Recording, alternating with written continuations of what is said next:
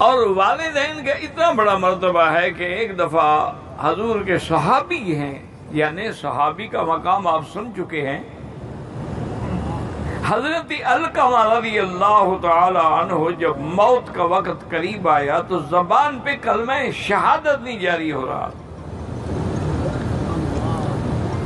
सहाबा बड़े घबराए, हजूर की खिदमत में पहुँचे और आके अर्ज़ किया कि या अकरमा की सकरात का वक्त है, मौत का वक्त है।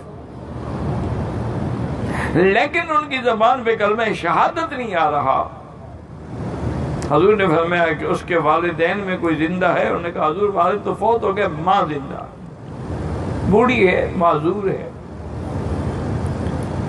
हजूर बाग तशरीफ़ ले आए और उसकी वालदा से कि तुम अलकमा के बारे में क्या कहती हो? कहा हजूर बड़ा अच्छा आदमी है, आपका सहाबी है नमाजी है, परहेजगार है। मैंने कहा, नहीं, मैं ये नहीं पूछ रहा मैं पूछ रहा हूँ तुम राज़ी हो? कहा, ना यार मैं राज़ी नहीं हजूर ने फरमाया, उसकी वजह क्या है? उसने कहा हुआ वो अपनी बीवी को मुझ पर तरजीह देता है। जो बात बीवी करती है, वो मानता है, मेरा ख्याल नहीं रखता। आपने फरमाया, उसको माफ़ कर दें। अब तो उसकी मौत का वक्त असर मैं माफ़ नहीं करूँ उसने अपनी बीवी के लिए मुझे बहुत तकलीफ़ पहुंचाई।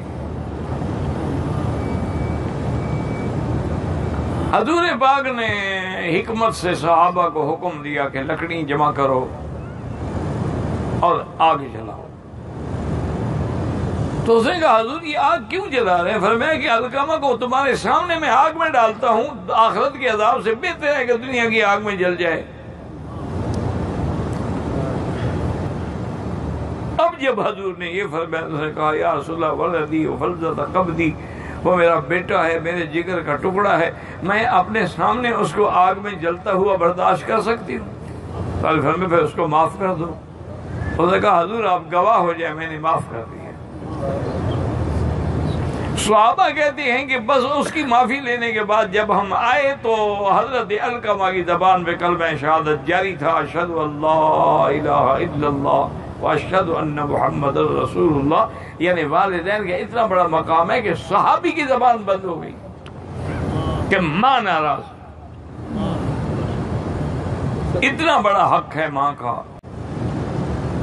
एक आदमी ने बड़ा मशहूर किस्सा है तारीख में कि उसने अपनी वालदा को बूढ़ी माँ को बिल्कुल कंधों पे उठा के तमाम मनासिक अदा किए, मिना गया, अरफात गया मुजदलफा गया। पहले लोग तो सही तरीके से हज करते थे ना, जान तो नहीं छुड़ाते थे। आजकल तो जान छुड़ाते हैं ना जी। बस ठीक है जी, आ गए अल्फात हो गया, बात खत्म, मेरी कनकरियाँ मार देना। और यार मेरी ड्यूटी है, मैं सोया नहीं, मुझे नींद आई है। पहले तो सही मन में हज होता था। मीना है मीना है। अल्फात है अल्फात है, मुजदलफा है मुजदलफा है। रमी जमरात है। हर काम उसलूब और सुन्नत के मुताबिक अदा हो। उसने माँ को मक्के से उठाया, मीना ले गया, अल्फात ले गया, मुजदलफा ले आया, कनकरियाँ मरवाई। फिर मक्का ले आया, तवाफ किया, साई की, फिर मीना ले गया। सारे अहकाम पूरे करके तवाफुल विदा कराया, कंधे पे उठाया हुआ है। और दिल में कहने लगा कि अल्हम्दुलिल्लाह, और ये एक दफ़ा नहीं, सात हज कराए इसी तरह वालदा को। हर साल हज में लिया दिल में एक दिन कहने लगा कि चलो शुक्र है अल्लाह का कि मैंने माँ का हक अदा कर दिया।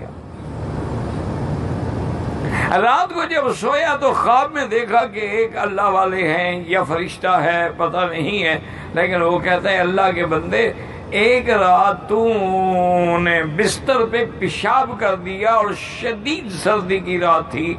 उसी वक्त तेरी माँ उठी और उसने तुझे उठाया और उस गंदे कपड़ों को धोया। और उसके बाद जो कि और तो गरीबों के पास कपड़े नहीं होते, वो जो गीली तरफ़ थी, उस पर खुद सोई और तुम्हें सारी रात सीने पे लिटाया कि मेरे बच्चे को सर्दी ना लग। जाए और मैं ये सात हज तो उस एक रात का भी बदला नहीं है। तुम कहते हो मैंने माँ के हक अदा कर दिया क्या कह रहे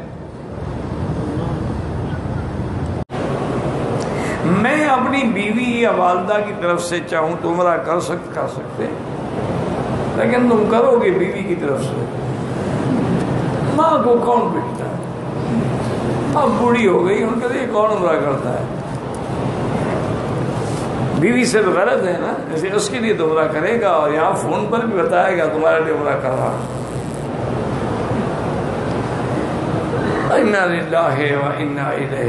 हम बिल्कुल हट गए हैं दीन के रस्ते से। अल्लाह ने अपने बाद वालदेन का हुक्म दिया।